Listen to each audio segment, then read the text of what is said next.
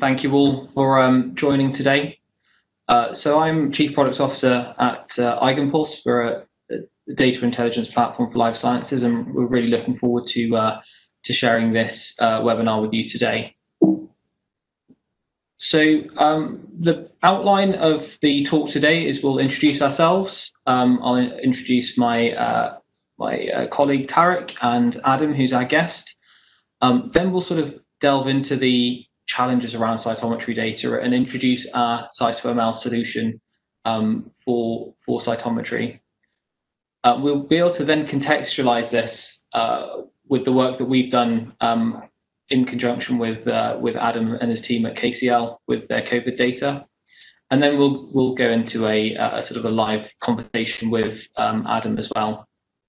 So the key takeaways from this um, talk today is that we'll be able to highlight how groups, big or small, can leverage high performance machine learning driven processing, uh, powerful analytics, and visualizations uh, through an easy to use interface, uh, no code web based environment, and how the CytoML suite can enable uh, high throughput experiments, uh, both in the size data but also the complexity of data, um, and simultaneously increase the quality of results.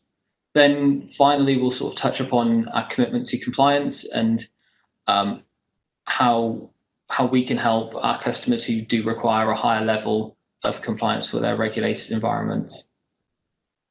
Okay, so um, my name is Satnam Surae. I'm Chief Products Officer. So my background is uh, in computational structural biology. So that's what my PhD was in. But I, I was sort of the go-to guy uh, to do all the sorts of data analysis from uh, genomics, proteomics, uh, stru- obviously structural biology, but then statistics and visualizations. And so that really got me interested in building high performance, easy to use tools for, uh, for scientists.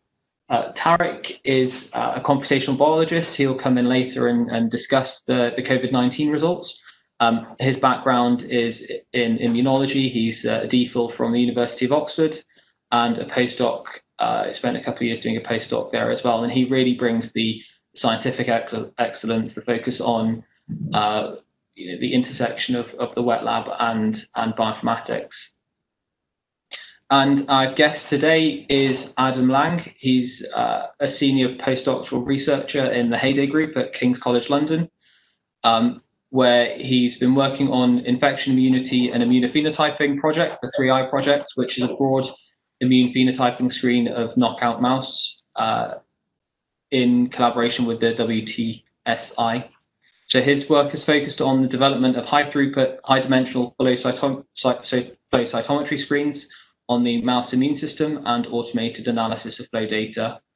And in addition, Adam has been working on a number of mutants identified in the primary screen to further understand the function of these genes in the immune system.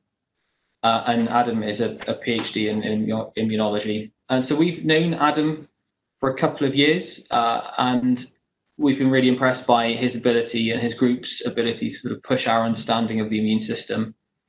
Um, him and his group are at the forefront of uh, building a picture of the immune system of COVID patients, and so this is where the uh, the case study comes from. And some of this work has sort of recently been accepted into uh, a renowned high impact journal, which uh, Adam will uh, sort of touch upon later. Uh, so keep an eye out for that publication as well. Um, as such, his knowledge and expertise in running large scale, high throughput cytometry and multiomics experiments is, is pretty much second to none. Um, so we look forward to discussing some of the challenges he sees in this space later on in the webinar.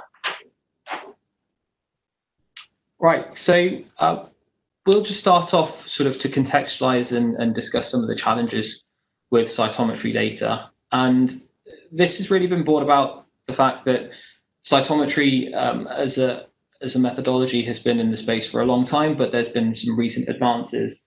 So um, the which has led to the increase in, in complexity of data. Uh, the, for instance, the um, the number of markers has increased. The ability to do automated and uh, roboticized experiments has increased. So we can typically see labs producing hundreds of, if not thousands, of um, FCS files a day.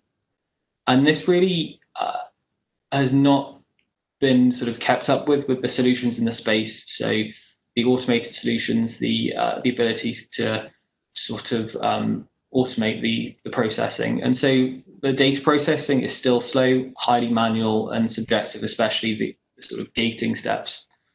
And aligned with this, there's very little transparency, and uh, it's very difficult to effectively reproduce um, analyses between uh, between scientists, between groups, or the same person after lunch because they're a little bit tired.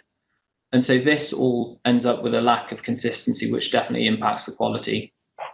Um, and then in in sort of compliant environments, this is all a step uh, more important because then the ability to share data is is is very very difficult, and this amounts to a bottleneck in large scale and, and high throughput environments.